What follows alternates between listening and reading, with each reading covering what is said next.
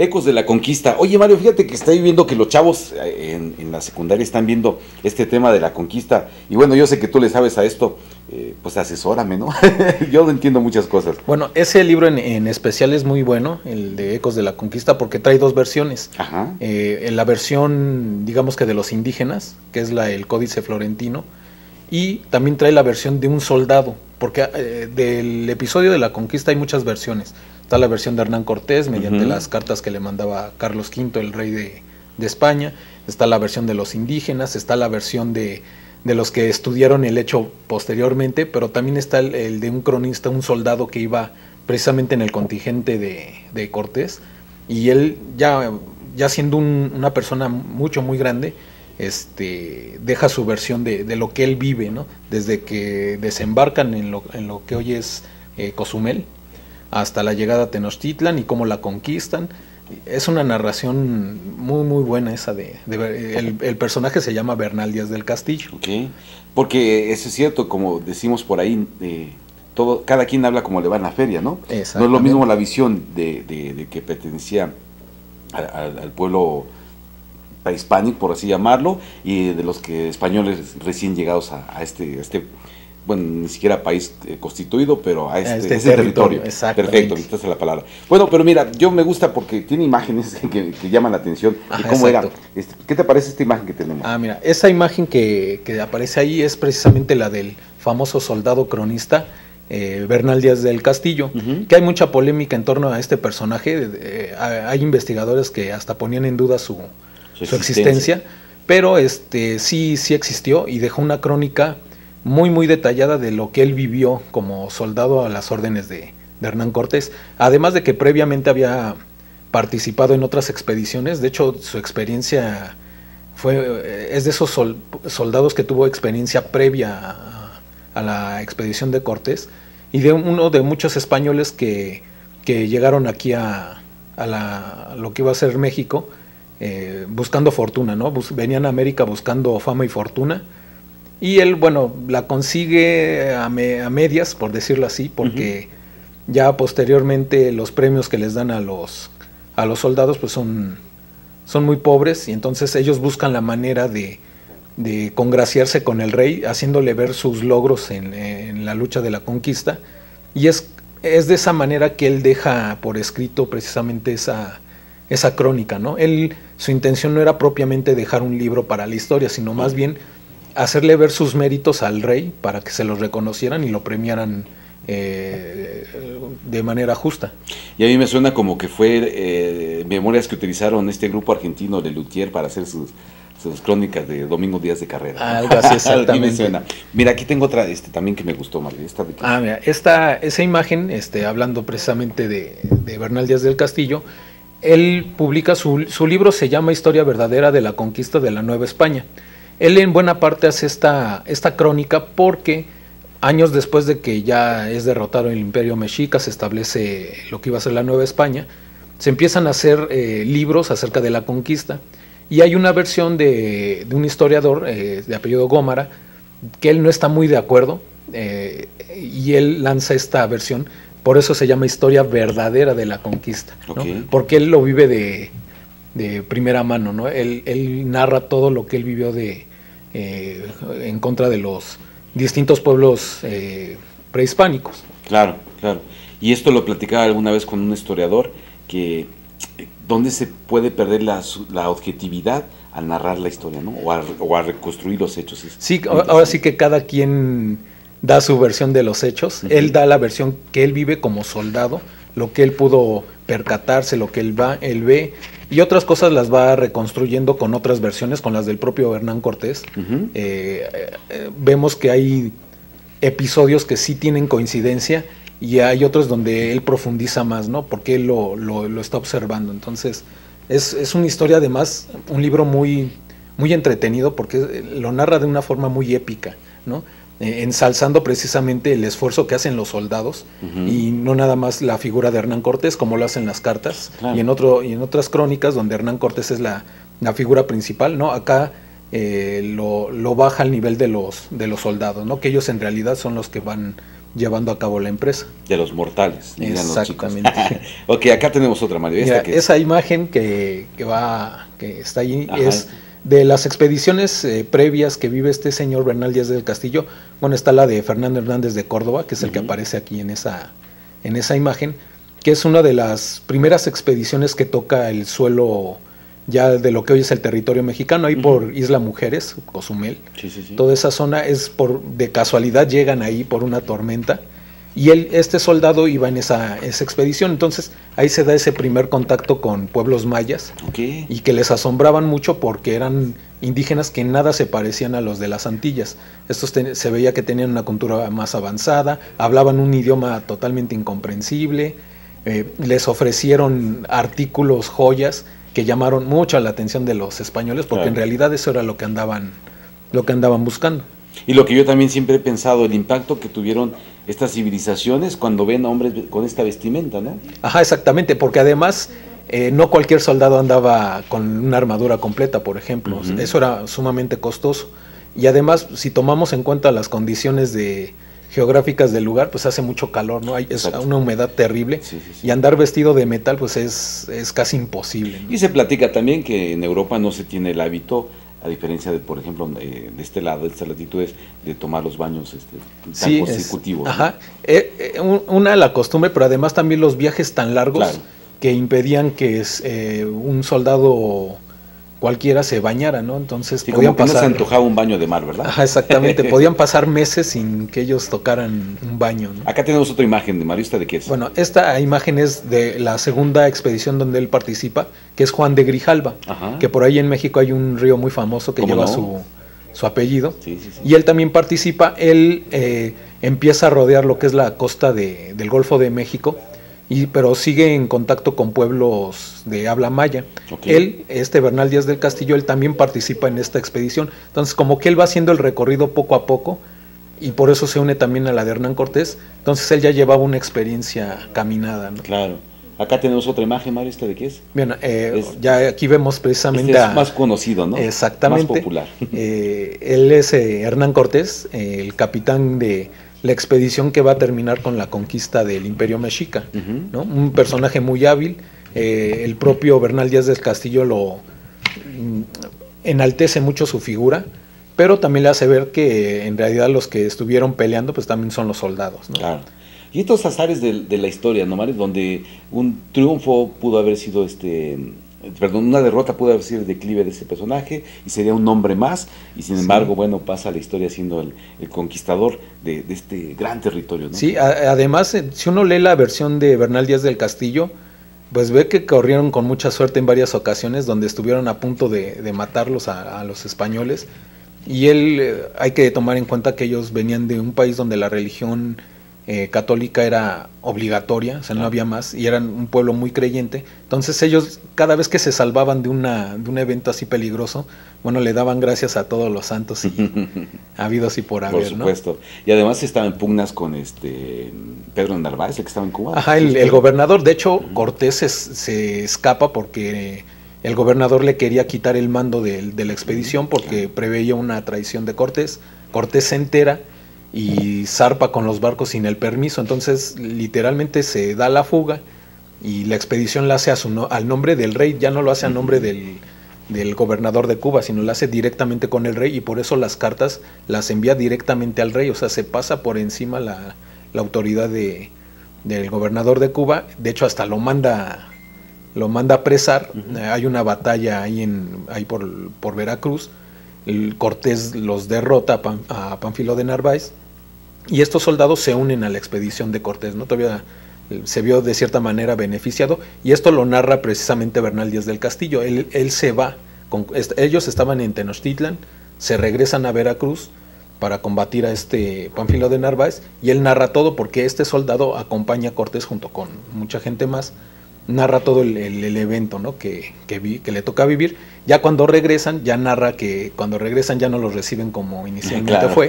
como ahorita va a aparecer por ahí en el libro. Eh, ya no los reciben bien, al contrario, ¿no? Los empiezan a perseguir.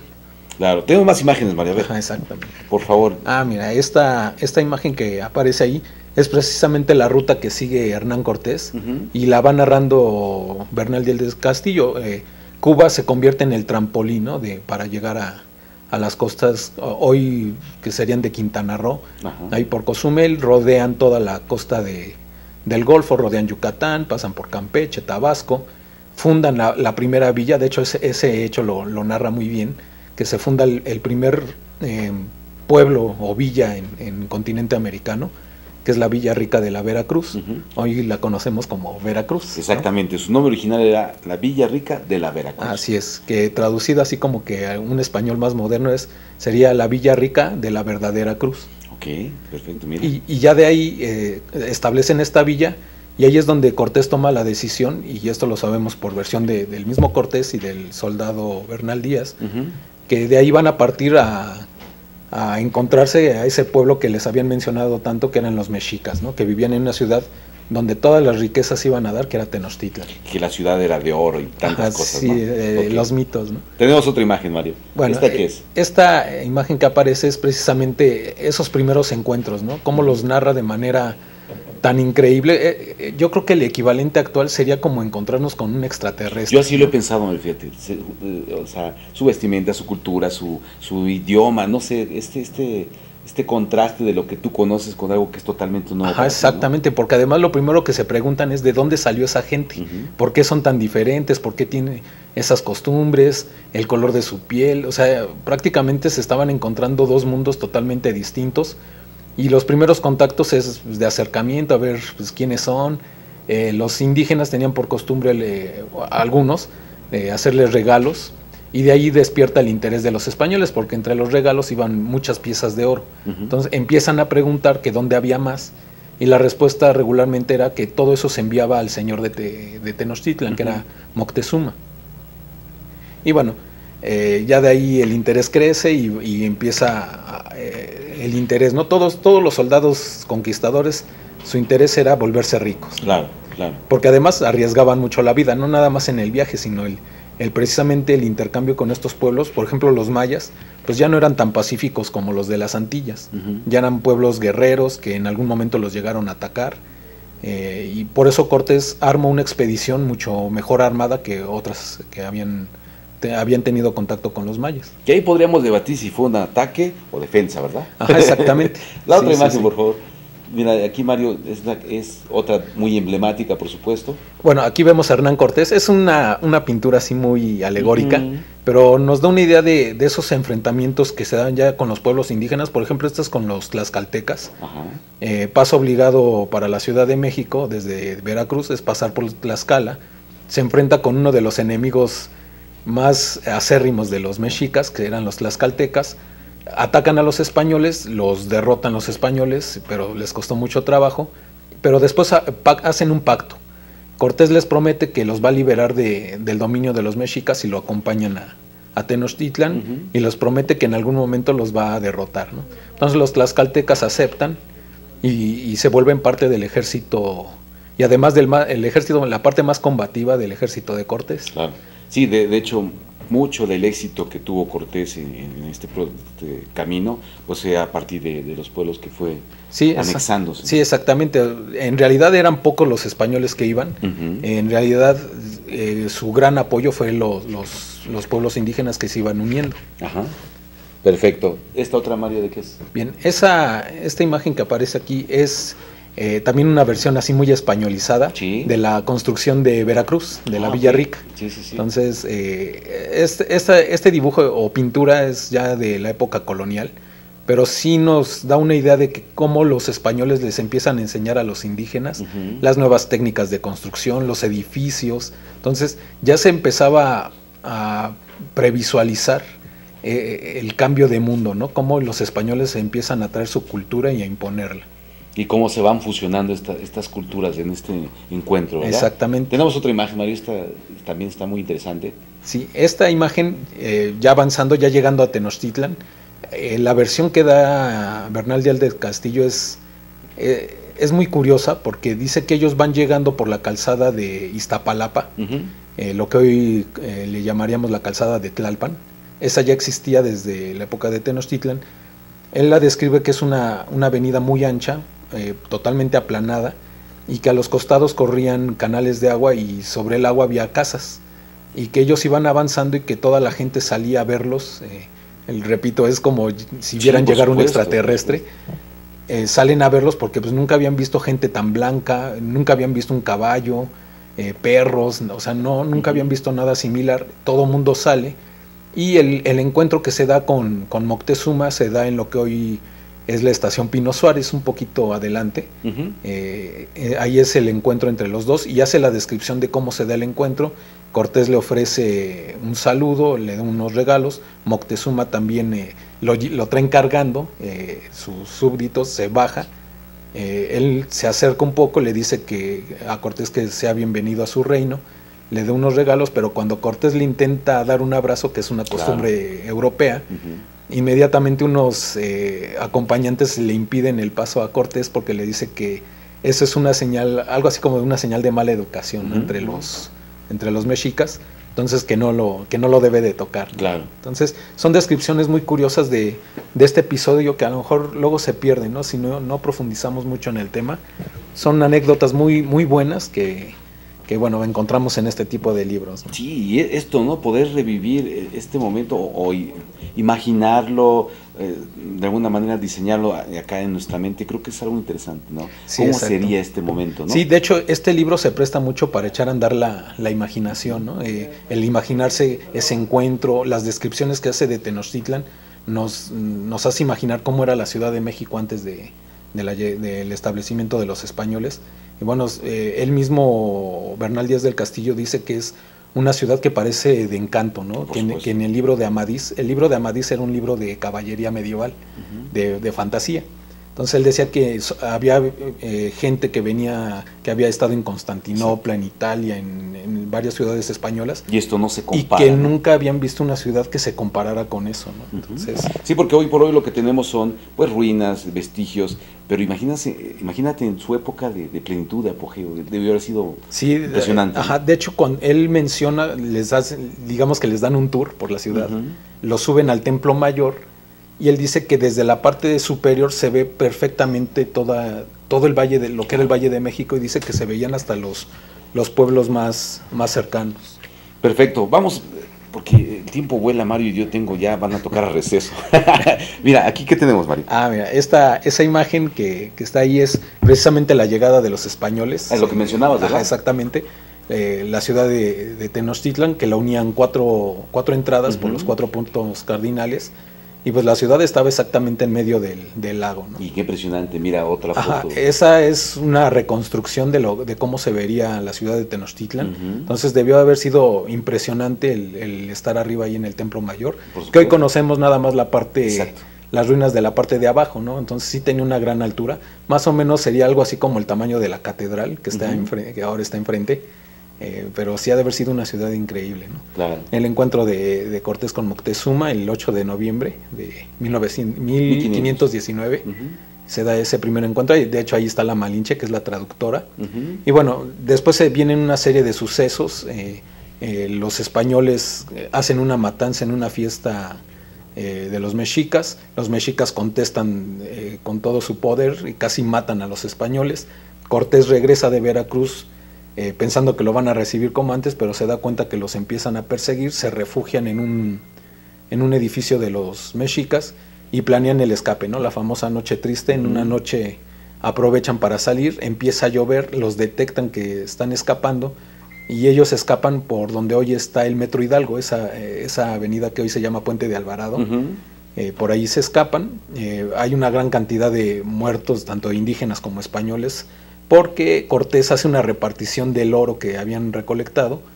Eh, muchos de ellos por no soltar el botín se ahogan en los canales y bueno, hay una matanza terrible y dice la leyenda que él se sienta a llorar su, su derrota ¿no? en, el un famoso árbol ahí en Popotla. Ya después, eh, esta imagen que está aquí eh, es ya el asedio final ¿no? de, de Tenochtitlan. Un año después se recuperan las fuerzas de Cortés, le llegan refuerzos, eh, otros pueblos indígenas se unen y hay un ataque final a la ciudad de Tenochtitlan, le cortan el agua que venía de Chapultepec, eh, comienza de hecho construyen barcos para que vía los canales entren barcos a, atacar la, ciudad Y bueno, literalmente la van destruyendo casa por casa. Los mexicas eran un pueblo guerrero por excelencia y básicamente se rindieron porque ya no había más por qué luchar, ¿no? Ya vivían en unas condiciones terribles, la enfermedades, falta de alimento, falta de agua. Bueno, prácticamente obligan a, a, los mexicas a, rendirse, ¿no? Y el abandono, ¿no? de, sus dioses, esta eh, esta idiosincrasia de la cosmovisión cambia en ese momento, ¿no? Sí, se el mundo se les derrumba, ¿no? Ajá, se sienten abandonados por sus dioses, eh, ven que ya es inevitable el, el, hecho de que un nuevo un nuevo amo se está imponiendo, ¿no? Y había presagios de esto, ¿no? De, profecías respecto de esto. Exactamente. Y bueno, ya finalmente eh, el punto final es la captura de Cuauhtémoc. por ejemplo, en esta imagen vemos cómo eh, hay una versión esta de Bernal Díaz del Castillo que él dice que cuando se lo presentan a Hernán Cortés, le dice que él trae un, puñal en, el cinto y, es, por ejemplo, esa pintura eh, se ve a Cuauhtémoc como señalando hacia el cinturón y le dice que tome su, puñal y que lo mate. Lo que en realidad Cuauhtémoc quería era que lo sacrificara, ¿no? Como buen guerrero que era, eh, era un honor morir sacrificado a los dioses, ¿no? Pero Cortés le dice que no, y bueno, eh, ahí acaba la, vida del imperio mexica. Y esta fotografía es una curiosidad. El cuerpo de Bernal Díaz del Castillo, él después de mucho andar entre España y el nuevo continente, termina viviendo en Guatemala y ahí fallece. Y ahí está su, su tumba, que además es una tumba colectiva. Eh, está mucha gente enterrada en esa tumba, entre ellos Pedro de Alvarado, otro de los capitanes que venía junto con Hernán Cortés, está la esposa de Pedro de Alvarado y otros personajes importantes de, Guatemala. Este está en la Catedral de Antigua, en, Guatemala, precisamente. ¿Es, Pedro de Alvarado el que desata esta masacre? Exactamente, él es el que da la orden de masacrar a los indígenas eh, en plena fiesta. y además que estaban desarmados. Y bueno, esa es la donde está la tumba de, de Bernal Díaz del Castillo en, Guatemala a dónde va, dónde va a acabar, ¿no? Es que interesante, Mario. Entonces tú recomiendas este Ecos de la Historia. Sí, de hecho está en, de la Conquista. Ecos de la Conquista está en los prácticamente en todos los planteles de, las secundarias, entonces ahí le pueden echar un ojito. Perfecto, pues Mario, estamos llegando ya al final de este programa. Algo que, pues como ya es una tradición que les pudiéramos preguntar a los chicos, ¿qué se te ocurre? Bueno, eh, sería interesante ver de, eh, de dónde es originario Bernal Díaz del Castillo. Esa sería una, una pregunta. Y la otra, ¿Qué sucedió con Cuauhtémoc después de que fue capturado por Hernán Cortés? Es muy buena, porque estaba en turno Moctezuma. Ah, eh, Moctezuma muere, luego lo sucede Cuitláhuac, que muere por eh, viruela, y el último Tlatuani Mexica es Cuauhtémoc. ¿Cuál fue el desenlace ¿Cuál fue el destino de él? Muy, muy buena de tarea. Pues estamos llegando ya al final de esta emisión, por supuesto, no sin antes agradecer al licenciado Manuel Salgado Cuevas, director general de Educación Secundaria Técnica, aquí en la Ciudad de México, a ustedes que nos hacen el favor de este, y otros programas. No te vayas, sigue con la señal de DGS TV. Recuerda que DGS TV te ve aprendiendo. Muchas gracias y hasta pronto.